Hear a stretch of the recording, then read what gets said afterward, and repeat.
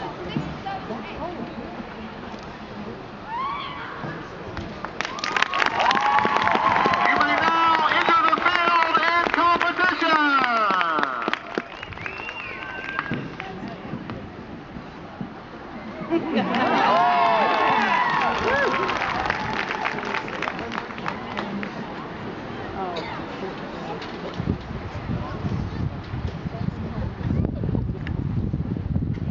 gentlemen, the following show makes extensive use of sound samples. These sounds are being performed in real time by the student waving his hand in the front ensemble. He has complete control over every single sample. There are no play-along tracks in this show. Now, enjoy the performance.